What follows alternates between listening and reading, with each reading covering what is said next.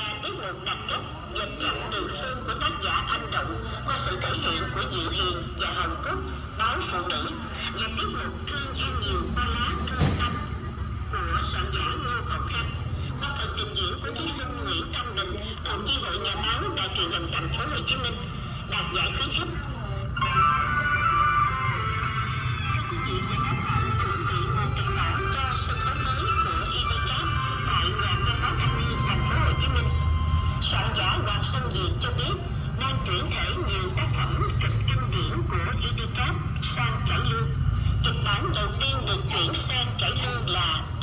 Người đàn bà.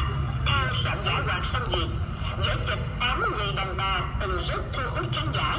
Kịch bản này có tính tự sự, viết biến sâu sắc nên cũng phù hợp với sân khấu cải lương.